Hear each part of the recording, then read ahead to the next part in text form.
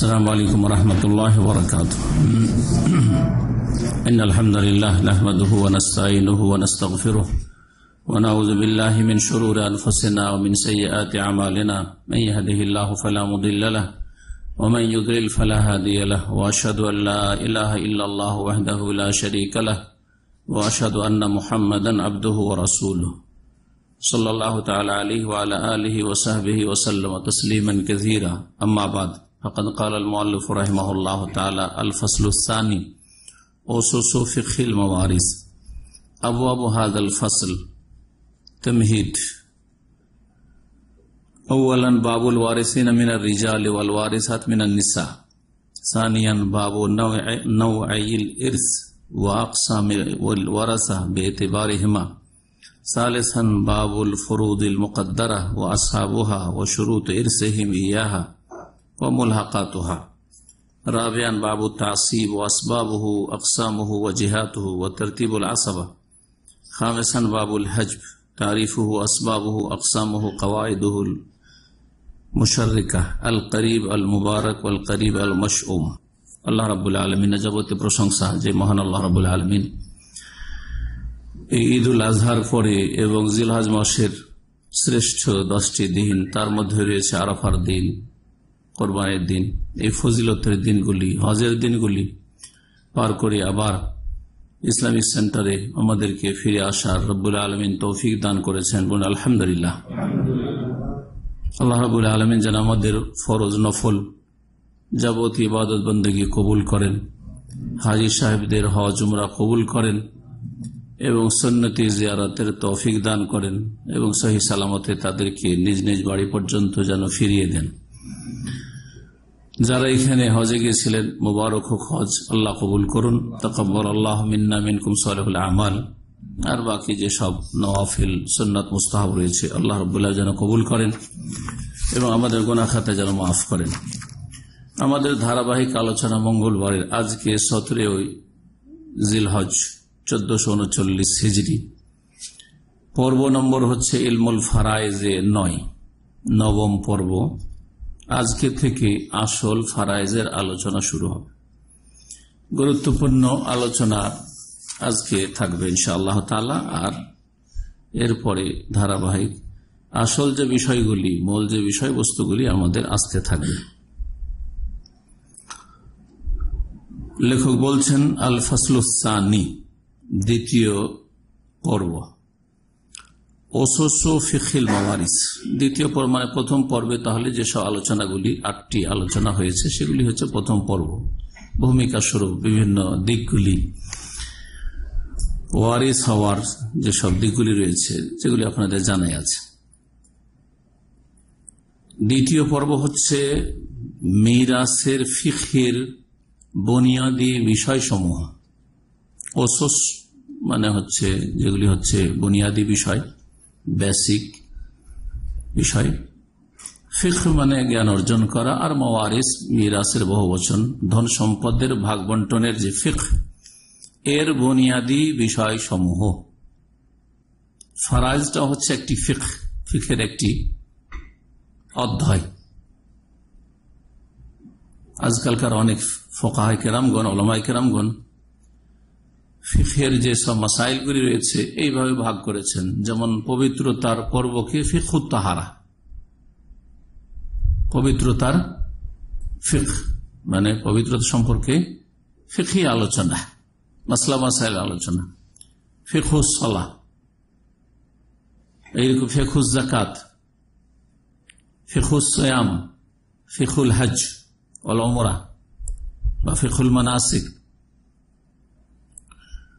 ফিখুল এবাদাত এগুলি সব এগুলি হল এবাদত আর তারপরে তখন আসবে ফিখুল মামলাত, আদান প্রদানের ফিখ, নিকাহ ফিখুল নিকাহ ফিখুল তালাক, ফিখুল বয়ু, ব্যবসা, বাণিজ্য, তিজারা, এ সমস্ত বিষয়। ওর মধ্যে একটি বিষয় হচ্ছে ফিখুল মাওয়ারিজ বা ফিখুল ফারাইজ। ধন সম্পদের ভাগ বন্টনের ফিখ, এই আলোচনা আজকে শুরু হবে। এই সম্পর্কে যে সব মাসালা মাসাইল রয়েছে, সেগুলির বুনিয়াদী বিষয়গুলি।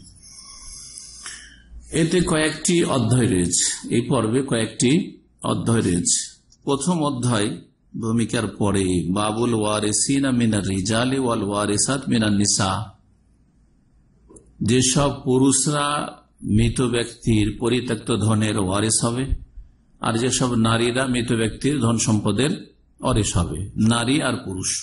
দুই রকমেরই নিকট আত্মীয় রয়েছে যারা ওয়ারেস বা উত্তরাধিকারী হবে, কার?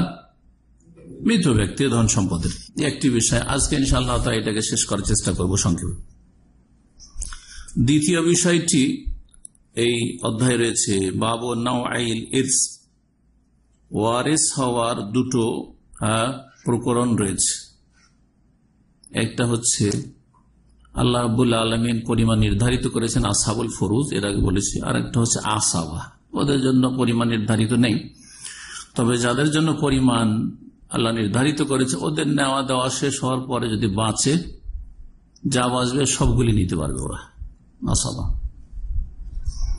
আকসামুল ওয়ারাসা, উত্তরাধিকারীদের প্রকরণ এই দিক থেকে। তৃতীয় হচ্ছে বাবুল ফরুদুল মোকাদ্দারা। ওইসব লোকদের ওইসব ওয়ারেসিনদের নির্দিষ্ট বা নির্ধারিত ভাগ যা আল্লাহ আবুল আলমিন কি করেছেন? সুনির্ধারিত করেছেন বা সুনির্দিষ্ট করেছেন। এরা কারা এবং তাদের ওয়ারেস হওয়ার শর্তগুলি কি ইত্যাদি এ সম্পর্কে আলোচনা। চার নম্বর আলোচনা রয়েছে বাবু তাসিব, আসাবা সম্পর্কে। আসাবা, এর কারণ কি? আসাবা কেন হয়? আসাবা কত প্রকারের এবং কোন কোন দিক থেকে হয়? এবং এই ক্ষেত্রে তার সিরিয়াল তরতিব। পাঁচ নম্বর আলোচনা আসবে এই ফিকুল মাওয়ারিসে বাবুল হাজব। আর সৃষ্টি করা। ভাগ বন্টন ধন সম্পদে ভাগ ভাগ পাওয়ার ক্ষেত্রে, বা ধন সম্পদের অরেস হওয়ার ক্ষেত্রে আর সৃষ্টি হয়ে যাওয়া। আপনি হয়তো পেতেন যদি আরেকজন আপনার সামনে এসে অন্তরায় হয়ে না দাঁড়িত আর হয়ে না দাঁড়িত ও না থাকতো তাহলে। হাজব কাকে বলে? আড় হয়ে যাওয়া কাকে বলে? এর কারণ আবার কি? এগুলি কত প্রকারের? এগুলির কি কায়দা কানুন রয়েছে? নিকট আত্মীয় আর দূরের আত্মীয় ইত্যাদি সব ভূমিকাতে লেখক এক পৃষ্ঠায় লম্বা আলোচনা করেছেন। এই পর্বটির বা এই যে অধ্যায়গুলি আসছে, এগুলির গুরুত্ব সম্পর্কে। বলছেন, ইউতাবারু হাজাল ফাসলিন আহামে ফসুল হাজাল কিতাব। এই ফারাইজের কিতাব রয়েছে, এই কিতাবের যতগুলি আলোচনার বিষয় রয়েছে, সবগুলির মধ্যে এই পর্বের আলোচনাগুলি সবচেয়ে গুরুত্বপূর্ণ। বলভ আসাস হাজাল ইলম, বরং এই ইলমল ফারাইজের এগুলি হচ্ছে বুনিয়াদী বিষয়। এগুলোর উপর সবকিছুই নির্ভরশীল।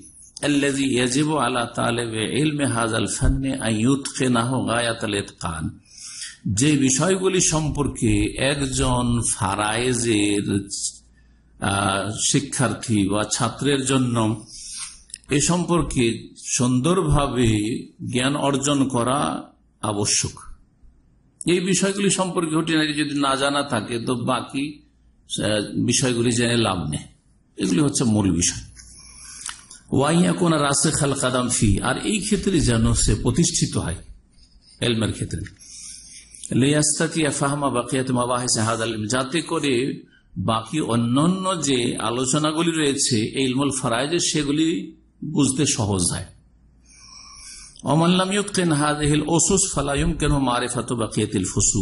যদি এই বুনিয়াদী বিষয়গুলি যে আজকে পাঁচটি পয়েন্টে উল্লেখ করা হইল এই বিষয়গুলি যদি মজবুত করে না মুখস্থ রাখতে পারে অথবা এই সম্পর্কে ভালো করে বুঝে নিয়ে জ্ঞান হাসিল না করতে পারে, তাহলে অন্যান্য যে বিষয়গুলি রয়েছে বা পর্বগুলি রয়েছে, ফারায়জের, সেগুলি সম্পর্কে জ্ঞান অর্জন করা সম্ভব নয়। উদাহরণস্বরূপ আল যে ব্যক্তি এটাই জানল না যে কোন কোন পুরুষরা ওয়ারিস হয়। মৃত ব্যক্তির আত্মীয়তার মধ্যে কোন কোন পুরুষ লোকেরা ওয়ারিস হবে, উত্তরাধিকারী হবে? আর কোন কোন মহিলারা ওয়ারিস হবে? এবং আর তারা যে ওয়ারিস হবে, এটার ধরনটা কি? সাহেবে ফরজ হিসাবে, আসাবেল ফরুজ হিসাবে, আম্বি তাসিব নাকি আসাবা হিসাবে? এটাও জানতে হবে। যদি আসাবা হয়, তাহলে তার স্টেজটা কি? কোন পর্যায়ের সে আসাবা? আসাবা তিন প্রকার রয়েছে। কোন স্টেজে সে পড়ছে? ওয়াহাল হোনা কামাই ইউনাজিউ ফিল ইরসে ফায়াহজুবুহু মিন নসিবিহি ফিল ইরসে কুল্লিহি অবাদহি আর এটাও জানার বিষয় যে এই যে ওয়ারিস হতে যাচ্ছে বা উত্তরাধিকারী হবে, এই ক্ষেত্রে এমন কি কেউ আছে তার আশেপাশে যে তার সামনে অন্তরায় হয়ে দাঁড়াবে, তাকে অংশ মোটেই পেতে দেবে না, ভাগ থেকে বঞ্চিত রাখবে, অথবা আংশিক ভাবে বঞ্চিত রাখবে। ভাগ কমিয়ে দেবে। ভাগ কমিয়ে দেবে। যেমন এক মেয়ে যদি থাকে, অর্ধেক। দুই মেয়ে যদি হয় হ্যাঁ? দুই তৃতীয় অংশ। দুই তৃতীয় অংশ দুই মেয়ে যখন হলো তখন এক মেয়ে কত পেল? এক তৃতীয় অংশ পেল। একাই যদি থাকতো অর্ধেক পেয়ে যেত। তাহলে আর এক বোন বা একাধিক বোন হওয়ার কারণে ভাগটা কমে আসলো না। আংশিক আর সৃষ্টি করল না। জি। আপনার যদি স্ত্রী একজন থাকে তাহলে সে এটা ভাগ পাবে তাই না? ছেলে মেয়ে যদি থাকে তাহলে কত? হ্যাঁ, আট আট ভাগের এক ভাগ দু আনা আর ছেলে মেয়ে যদি না থাকে তাহলে চার ভাগে এক ভাগ। হ্যাঁ চার আনা ভাগ। ঠিক না? কিন্তু চারজন যদি স্ত্রী থাকে? ওই দু আনাতে চারজন স্ত্রী। তাহলে কত কমে আসলো? হাফ আনা, অর্ধ আনা। কমলো না কমলো না। আংশিক ভাবে আর সৃষ্টি করল, ভাগ কমিয়ে দিলে। এইরকমটাই হবে অনেক সময়, যে- পুরোপুরি বঞ্চিত করে দেবে, অথবা অংশ কমিয়ে দেবে, ভাগ কমিয়ে দেবে। অঙ্গাইরে হাজিল এছাড়া অনেক বুনিয়াদী বিষয়গুলি রয়েছে। আল্লাতি যেগুলিকে আমরা এখানে ব্যক্ত করেছি বা যেগুলি সম্পর্কে আমরা বর্ণনা করেছি, কি বলে? আল আহকাম ফি মাওয়ারিস। মিরাসের ফিখের আহকাম বা বিধিবিধান।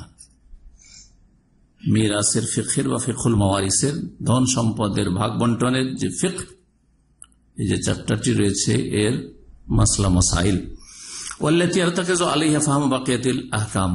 এর উপর নির্ভরশীল হচ্ছে অন্য অন্য হুকুম আহকামগুলি বুঝা। এগুলি জানবেন, তাহলে বাকিগুলো জানতে পারবেন। এই জন্য এই বিষয়গুলিকে আল্লাহ রব কোরআনে কারিম বর্ণনা করেছেন।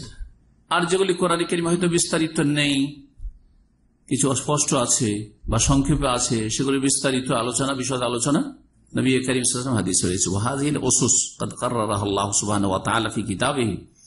আর এই বুনিয়াদী বিষয়গুলি আল্লাহ রব্বুল সুস্পষ্ট করেছেন আল্লাহ সুবাহ তার কিতাবে যার সামনে পেছন দিয়ে কোনো বাতিল আসতে পারে না। মানে সবকিছুই বাতিল থেকে মুক্ত, বাতিলের ঊর্ধ্বে। অবাইয়ানাহা রসুল্লাহ রসুল্লাহ তার সন্না বর্ণনা করে দিয়েছেন বিশদভাবে।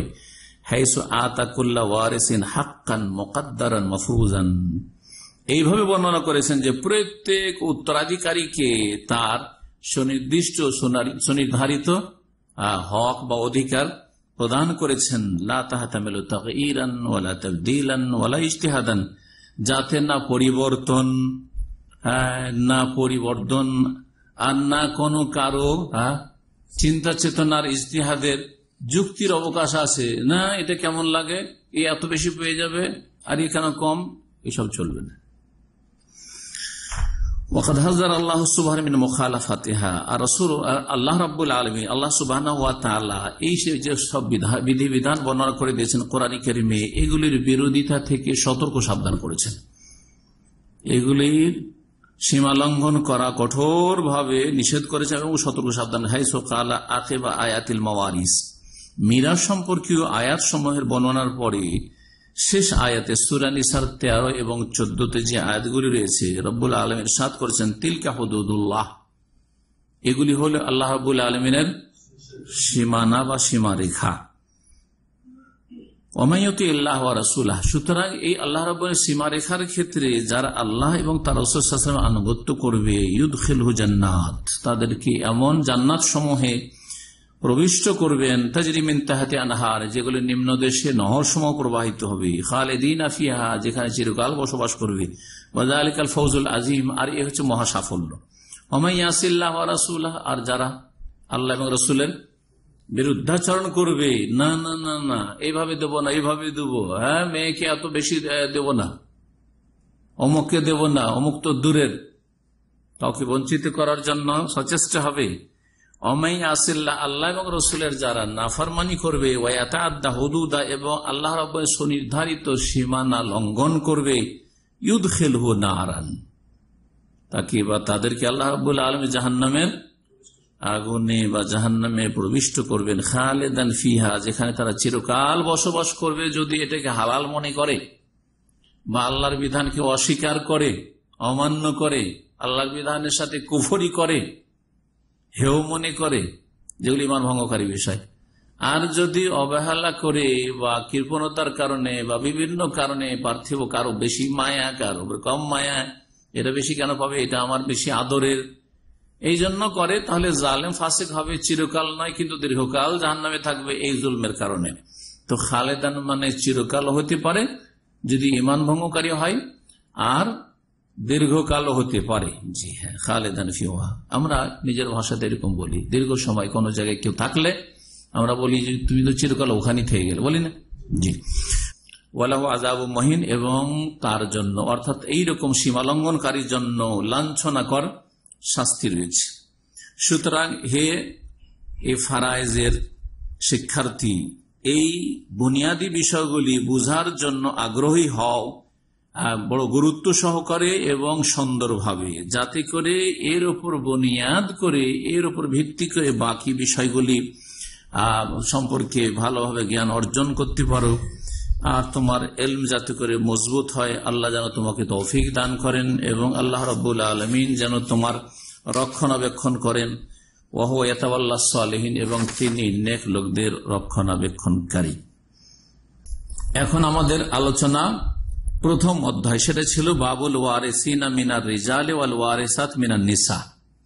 এই অধ্যায় হচ্ছে কোন পুরুষরা ওয়ারিস হবে, উত্তরাধিকারী হবে, আর কোন নারীরা উত্তরাধিকারী হবে। বাব, এই অধ্যায়ে যে বিষয়গুলি রয়েছে, চলে এসছে, আল ওয়ারেসুন মিনার রিজাল, কোন কোন পুরুষরা ওয়ারিস হবে, উত্তরাধিকারী হবে, ওয়াল ওয়ারেসাত মিনার নিসা, আর কোন কোন নারীরা ওয়ারিস হবে আর তাতে সতর্কীকরণ রয়েছে। আর তারপরে লেখকের যে পদ্ধতি, প্রত্যেকটা আলোচনার পরে অনুশীলনী এক্সারসাইজ রেখেছেন, যেগুলি আমরা সময় স্বল্পতার জন্য, এগুলি হচ্ছে প্রাইমারি স্টেজের ছাত্রদের জন্য, সেগুলি আমরা নিয়ে আলোচনা করি না। আর সেগুলি হচ্ছে কেউ যদি নিজে থেকে ব্যক্তিগত করে তাদের জন্য। প্রথমে দেখা যাক আল ওয়ারিস মিনা রিজাল কোন কোন পুরুষরা ওয়ারিস হবে? এদের সংখ্যা পনেরো। অর্থাৎ পনেরো জন পুরুষ মানুষ আছে, একজন মানুষ মারা গেলে তারা লাইনে দাঁড়িয়ে আছে। পরিত্যক্ত ধনে মৃত ব্যক্তির পরিত্যক্ত ধন সম্পদে ভাগ নেওয়ার জন্য। একসাথে পনেরো জন সবাই পাবে না কিন্তু। কিন্তু তারা সিরিয়ালে আছে। সিরিয়ালে তারা এ পনেরো জন আছে। যদি তাদের সামনে কেউ আর সৃষ্টিকারী না হয়, তাহলে তখন এরা ধারাবাহিকভাবে পাবে এই পনেরো জন সম্পর্কে জেনে নিন সংক্ষেপ। প্রথম হচ্ছে আলিবিন ছেলে সন্তান। যার ছেলে, পুরুষদের আলোচনা চলছে না সেটা মেয়েদের কথা উল্লেখ করা হইল না। মেয়েদের লিস্টে মেয়ে আসবে। ছেলে, ইবনুল ইবন, ছেলের ছেলে। যত নিচে নেমে যাক না কেন, সেগুলি ছেলের ছেলে। অর্থাৎ ছেলের ছেলে, ছেলের ছেলের ছেলে, আর যত নিচে চলে যাক না কেন, যদি কেউ থাকে। হয়ে গেল দুটো। তিন নম্বর হচ্ছে আল আব বাপ। বাবা, কি হবে? মৃত ব্যক্তির ওয়ারিস হবে। তারপরে আবুল আব, বাবার বাবা, দাদা, দাদার বাবা। দাদার বাবার বাবা না দাদা দাদা। ওয়াইন আলা, যতই ওপরে চলে যাক না কেন, কিন্তু একটা শর্তের সাথে, সেটা হচ্ছে জকুরে ওপরে যাওয়ার ক্ষেত্রে হ্যাঁ এই পরম্পরায় যেন সবগুলি পুরুষ থাকে, মাঝখানে কোনো নারী না ঢোকে, কোনো মহিলা না ঢোকে। তাম্বিহা যখন সতর্কীকরণ বর্ণনা করবেন তখন এটাকে ভেঙে বলবেন, কিন্তু সব বুঝতে পারছেন। এইভাবে যদি বাপ, বাপের পরে কি আসলো? দাদা। চার নম্বর কি এসছে? দাদা। দাদা নেই। তাহলে? দাদার বাপ। দাদার দাদা। হ্যাঁ? তার তার উপরে তার উপরে সবগুলি কিন্তু পুরুষের মাধ্যমে কিন্তু পরম্পরা উপর দিকে যাচ্ছে, ঠিক না? যে সিলসিলা যাচ্ছে। মাঝখানে অন্য কোনো যদি মহিলা ঢুকে পড়তো, যেমন দাদা আছে প্রথম। বাপের পর কে আছে? দাদা। বাপের পরে দাদা। দাদার মায়ের বাপ। মাঝখানে যে মহিলা ঢুকে গেল, সুতরাং পাবেন না। দাদার মা। হ্যাঁ? আর তার বাপ। দাদার মায়ের বাপ। মাঝখানে যে মহিলা পাবে না। এটা যদি না পেতো ওপরে গিয়ে যদি ওইরকম হয়, তাহলে পাবে না। পাঁচ নম্বর হচ্ছে আল আহমিন আল আবাইন সহদর ভাই। আবাওয়াইন আরবিতে কেন বলা হয়, বাপ, মা, দুই পক্ষ থেকে ভাই। আপন ভাই যেটা আমরা সহজ ভাষায় বলি, সহদর ভাই, আপন ভাই ও বাপের দিক থেকে ভাই, মায়ের দিক থেকে ভাই। মানে বাপও এক, মাও এক। এবার বুঝতে পেরেছেন? এই জন্য আবাওয়াইন বলা আবাওয়াইন মানে ওয়ালিদাই বাপ, মা। দুই বাপ না, এখানে বাপ বলে বাপ, মা। প্যারেন্টস মাতা পিতাকে বোঝানো হয়েছে। ছয় নম্বর হচ্ছে আল আখমিনাল আব। বাপের দিক থেকে ভাই, বাপের দিক থেকে ভাই মানে? সৎ ভাই বই মাতৃয় মা বই মাতৃয় মানে মা আলাদা। বাপের দিক থেকে বাপ এক, কিন্তু মা ভিন্ন ভিন্ন। তাহলে সৎ ভাই যেটা বলছে, ঠিক না? পাবে। ছয় নম্বর, আল আখ মিনাল, সাত নম্বর সাত নম্বর হচ্ছে, আল আখ মিনাল উম। মায়ের দিক থেকে ভাই তার মানে বই পিতৃয় বাপ দুই, কিন্তু মা এক। বাপ দুই, কিন্তু মা এক। তো ভাই মৃত হ্যাঁ জি। বই পিতৃয় ভাই মৃত, এই ভাইয়ের ধন সম্পদে বই পিতৃয় ভাই ভাগ পাবে। জি। মায়ের দিক থেকে ভাই, কয়টা হলো? সাতটা হলো। আট নম্বর, ইবনুল আখ মিনাল আবাওয়াইন। আপন ভাইয়ের ছেলে। আপন ভাইয়ের ছেলে। সহদর ভাইয়ের ছেলে মানে ভাতিজা। আপন ভাতিজা, সহজ ভাষায়। কি? আপন ভাতিজা। ওয়াইনাজালা যতই নিচে নেমে যাক। আপন ভাইয়ের ছেলে না হয়, আপন ভাইয়ের ছেলের ছেলে। হ্যাঁ আপন ভাইয়ের ছেলের ছেলের ছেলে নিচে যেতে পারে। যদি থাকে কারও কাছেরটা নেই, দূরেরটা আছে তাহলে। আর কাছের থাকলেও দূরটা পাবে না, নিচেরটা পাবে না। নয় নম্বর হচ্ছে ইবনুল আহমিনাল আব, সৎ ভাইয়ের ছেলে। হ্যাঁ? সৎ ভাতিজা, তাহলে হইল তাই না? জি।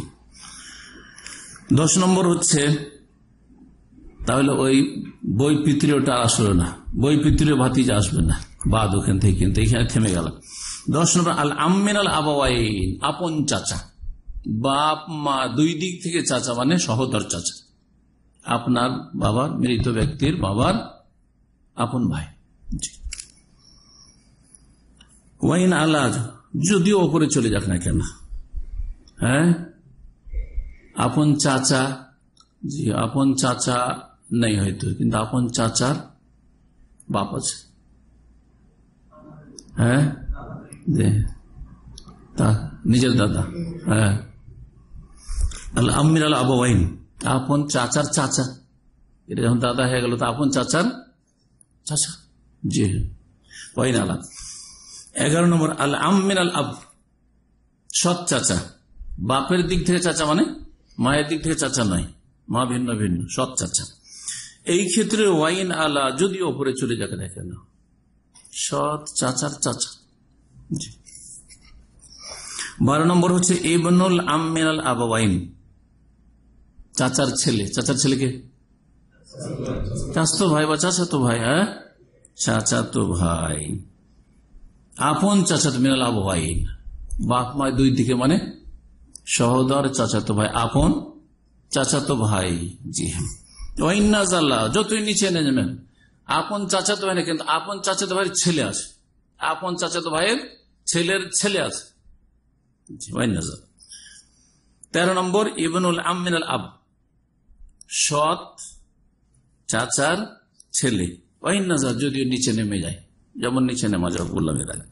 চোদ্দ নম্বর হচ্ছে আজ স্বামী। পুরুষ ওয়ারেস না? তো স্বামী অরেস হবে। কার অরেস হবে? তাহলে মৃত এখানে কে? স্ত্রী। জি হ্যাঁ। পনেরো নম্বর হচ্ছে আল মুতেক গোলাম কিতদাস স্বাধীনকারী পুরুষ। কিতদাস যে ওয়ালা যে একটা বলেছি, ওটা হচ্ছে ধন সম্পদ ভাগ পর একটা কারণ, জি, আসবাবুল ইরিসের মধ্যে যে তিনটি কারণ উল্লেখ করা গেছে। এই পনেরোটি হয়ে গেল তাহলে। এবার বুঝতে পারছেন? এই সতর্কীকরণগুলির মধ্যে কিছু ব্যাখ্যা করে বুঝিয়েছেন, সেগুলি বলব না। একটা পয়েন্ট আমরা বলব, তিন নম্বর এখানে যেটা বলেছেন, এটা খুব জরুরি। সেটা হচ্ছে, এই যে পনেরো জন আছে, এই পনেরো জনের মধ্যে একসাথে কয়জন ভাগ পাবে? সবাই পাবে? না সবাই পাবে না? এই জন্য শুরুতে আমি বলেছি এটা ব্যাখ্যা করতে যে পনেরো জন লাইনে দাঁড়িয়ে আছে পাওয়ার জন্য।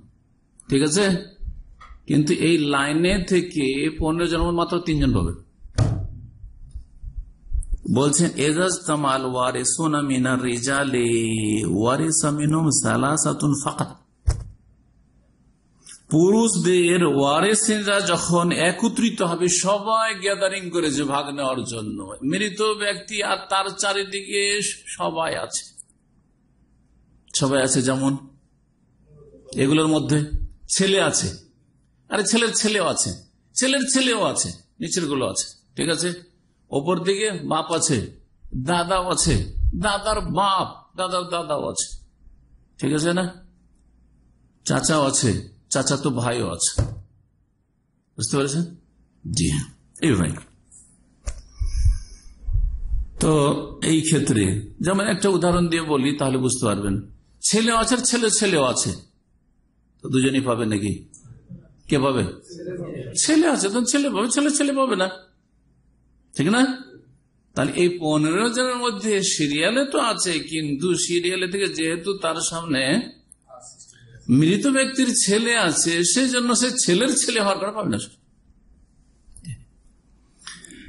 বলছে, যখন পুরুষদের মধ্য থেকে যারা উত্তরাধিকারী ওয়ারেসিন তারা একত্রিত হবে, একসাথে হবে অনেকেই। তাদের মধ্যে শুধুমাত্র তিনজন ওয়ারিস হবে। শুধুমাত্র তিনজন উত্তরাধিকারী হবে। ওরা কারা? মৃত ব্যক্তির এবং ছেলে, মৃত ব্যক্তির বাপ আর জৌজ স্বামী মহিলা মারা গেছে। মহিলার ছেলে আছে, আর বাপ আছে। আরও অনেকে আছে আত্মীয় স্বজন কিন্তু কে কে পাবে? হ্যাঁ? ছেলে পাবে? বাপ পাবে? আর স্বামী পেয়ে এই নিয়ে ধন শেষ হয়ে যাবে। আর আশেপাশের লোকেরা যতই চিৎকার করুক, পাবে না। কারণ এরা সবচেয়ে কাছের, এরা আছে। এই অবস্থাতে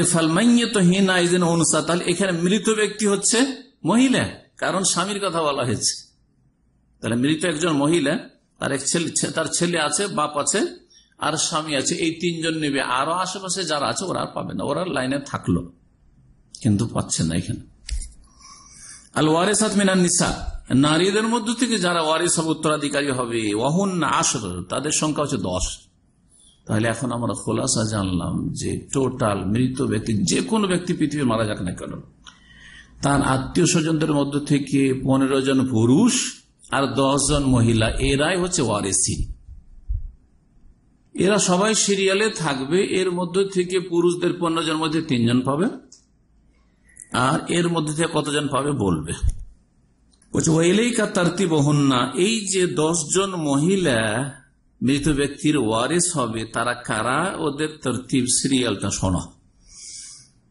এক নম্বর আল বিন্ট মেয়ে, মৃত ব্যক্তির মেয়ে।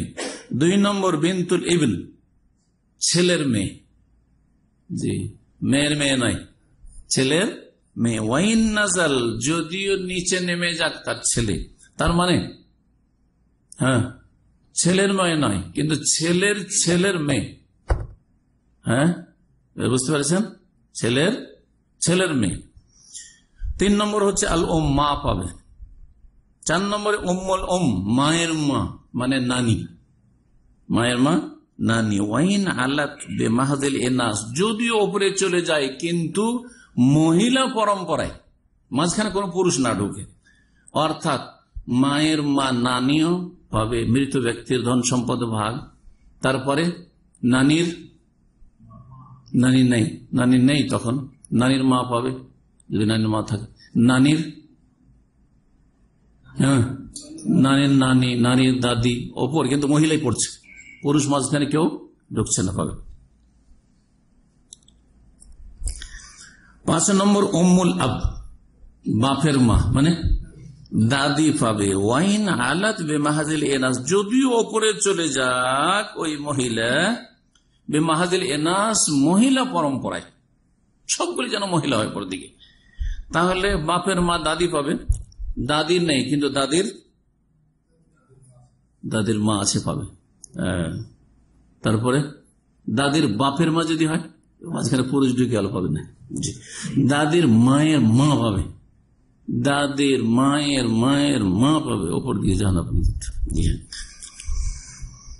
আও অথবা বাপের মা বাপের মা? দাদি পাবে, ওয়াইন আলা, যদিও ওই বাপ ওপরে চলে লাগবে মাহাদির যোগ শুধু পুরুষ দিয়ে। এটা আর একটা অবস্থা। সেটা হচ্ছে কেমন? বাপের মা হইল দাদি। এখন এই যে বাপের পরম্পরাটা ওপর দিকে যাচ্ছে শুধু পুরুষ দিয়ে। বাপের বাপের মা। মানে দাদার মা। হ্যাঁ? দাদার বাপের মা। পুরুষ দিয়ে যাচ্ছে শুধু। মাটা শুধু মহিলা ওপরে আর বাকিগুলো সব পুরুষ দিয়ে উপরে যাচ্ছে, পাবে কিন্তু। ভাগ পাবে। জি। ছয় নম্বর হচ্ছে আল উখত মিনাল আবাওয়াইন, সহদর বোন। আপন বাপ, মা দুই দিক থেকে যে বোন হয়, তার মানে আপন বোন। সাত নম্বর হচ্ছে আল উখত মিনাল আব বই মাতৃয় সৎ বোন সৎ বোন পাবে, ভাগ পাবে। আট নম্বর হচ্ছে আল উখত মিনাল ওম বই পিতৃয় বোন। জি। মা এক, কিন্তু বাপ ভিন্ন ভিন্ন, পাবে। নয় নম্বর হচ্ছে মহিলা, যে পাবে, সে হচ্ছে আজাউজা স্ত্রী। স্ত্রী। দশ নম্বর মহিলা হচ্ছে আল মোতেকা এমন মহিলা যে কোন দাস দাসীকে স্বাধীন করেছে। তো ওই দাস দাসীর ধন সম্পদ ভাগ পাবে কে? এই স্বাধীনকারিণী মহিলা। হয়ে গেল দশজন জি। এই সতর্কীকরণগুলির মধ্যে দু তিনটি বিষয় এখানে বলি। এই যে দশজন আছে, এই দশজন সবাই কিন্তু লাইনে দাঁড়িয়ে আছে। চেয়ে আছে যে আমরা পাবো, চাতক পাখির মতো। সবাই পাবে? যে না, সবাই পাবে না। বলছে এজাজ তামা জামিউ নেসাই আল ওয়ারেসাত। ওয়ারেসাত মিনহন্না খামসুন ফাকাত। বলছে, এই দশজন মহিলা সবাই যদি একত্রিত হয়ে যায় সবাই বেঁচে আছে, মৃত ব্যক্তি। যখন এতেকাল হচ্ছে, ওই ওই ব্যক্তির তখন তার চারপাশে এই দশ জন মহিলা বা দশ রকমের মহিলা সব গ্যাদারিং করে আছে, সবাই বেঁচে আছে। এই দশ জনের মধ্যে কজন পাবে? বলছেন, মাত্র পাঁচজন পাবে। শুধুমাত্র পাঁচ। ওয়ারেসাত মেন হন্না খামসুন ফাকাত। শুধুমাত্র পাঁচজন পাবে দশ জনের মধ্যে। তারা কার? অহন্না আল বিন্তু। মৃত ব্যক্তির মেয়ে পাবে। বিন্তুল ইবনে আর ছেলের মেয়ে ছেলের মেয়ে পাবে, অল ওম মা পাবে, অল উখতুসাকিকে আপন বোন পাবে, স্ত্রী পাবে। এই অবস্থাতে যখন স্ত্রী বলা হয়েছে, তাহলে মৃত ব্যক্তিকে এখানে? পুরুষ তাহলে। মৃত তাহলে পুরুষ। জি হ্যাঁ। মেয়ে পাবে আর ছেলের মেয়ে পাবে। একজন কোন পুরুষ লোক মারা গেল, মৃত ব্যক্তি ধরেন, আর তার এক মেয়ে আছে। হম। কত পাবে? অর্ধেক। আর একটা ছেলের মেয়ে আছে। দুই মেয়ে থাকলে পেত না, কিন্তু এক মেয়ে আছে, অর্ধেক নিল। দুই মেয়ে হলো কত নিত? দুই তৃতীয় অংশ নিত। ঠিক আছে? দুই তৃতীয় অংশ নিত। সেই জন্য দুই মেয়ে যখন দুই তৃতীয় অংশ নিত, এই মশলাগুলি আসবে সামনে, শুধু একটু আপনাদের ব্রেনটা যাতে খুলে। এই যে ছেলের মেয়ে যদিও দূরে, একটা হচ্ছে মেয়ে, আর একটা হচ্ছে ছেলের মেয়ে। ছেলের মেয়ে, তার মানে ছেলের ঘরের নাতিন। হ্যাঁ আমাদের দেশে আমরা বলি গোপালগঞ্জের ভাষা, পতিন পতিন আছে। তো দুই মেয়ে থাকলে কত নিত? দুই তৃতীয় অংশ, এক মেয়ে আছে, অর্ধেক নিল। তাহলে দুই মেয়ে হইলে যখন দুই তৃতীয় অংশ নিত, তো আরেকটা অংশ থেকে যাচ্ছে দুই মেয়ে সমান জুটাইতে। ওইটুকু কে পাবে? এই ছেলের মেয়ে পাবে। এই ছেলের মেয়ে, নাতিনটা পেয়ে যাবে। বুঝতে পেরেছেন? তাকমেলাতান লিসুল হুসাইন বলেছেন, এতটা পাবে যা দিয়ে দুই তৃতীয় অংশ হয়ে যাবে। অর্থাৎ মেয়ে অর্ধেক প্লাস একের ছয়। ভগ্নাংশ যখন হিসাব জড়বেন, তখন দুই তৃতীয় অংশ হয়ে যাবে। ছয় ভাগের এক ভাগ পাবে। এই ছেলের মেয়ে। তাহলে আগে আমরা একটা জানলাম যে পনেরো জন পুরুষের মধ্যে মৃত ব্যক্তির আত্মীয় স্বজন পনেরো জন পুরুষের মধ্যে সবাই যদি জমা হয়, কতজন পাবে? তিনজন। আর যদি মহিলা এই দশ জন সবাই জমা হয়, তাহলে কতজন পাবে? পাঁচজন পাবে। আত্মীয় স্বজন মধ্যে মৃত ব্যক্তির আত্মীয় স্বজনে কিছু পুরুষ আছে, কিছু মহিলা আছে। শুধু মহিলাও নেই শুধু পুরুষ নেই মিক্সচার আছে। তখন কি হবে? এটা আর একটা অবস্থা শোনেন। বলছে, এজাজ তামা মিনাল ওয়ারেসা ফাকাত। যখন সমস্ত পুরুষ আর সমস্ত নারী যারা ওয়ারেসিন, পনেরো আর দশ, পঁচিশ পঁচিশ জনের কথা যে বলা হইল, সবাই আছে। মৃত ব্যক্তির পঁচিশ জন আত্মীয় যাদের কথা বলা হলো, নারী পুরুষ সবাই বেঁচে আছে। এ মাইয়েতের ইন্তেকালের সময়। এই পঁচিশ জনের মধ্যে টোটাল কতজন পাবে? বলছে মাত্র পাঁচজন পাবে। ওয়ারেসা মিনহুম খামসতুন ফাকার শুধু পাঁচজন পাবে। তারা কারা? আবাওয়ান বাপ, মা পাবে। বাপও পাবে, মাও পাবে। ওল ওয়ালাদান আল ইবন বিন্ট। ছেলে, মেয়ে, উভয় পাবে। মৃত ব্যক্তির ছেলে আছে, মেয়ে আছে, পাবে না পাবে না। লিজাকারে ছেলে সন্তান দ্বিগুণ পাবে, মেয়ে সন্তানের তুলনায়, তাই না? জি। আবু আহাদুজাইন আর স্বামী স্ত্রীর মধ্যে একজন। স্বামী স্ত্রীর মধ্যে একজন। তাহলে কয়জন হলো? পাঁচজন হলো। পাঁচজন। ওইদিকে মা বাপ হয়ে গেল আর ছেলে মেয়ে হয়ে গেল আর স্বামী অথবা স্ত্রী। সাত নম্বরে বলছেন, আইয়ু ফারদিন জাকারান কানা আও উনসা লাম ইউজকার ফি কায়মাতাইর রাজাল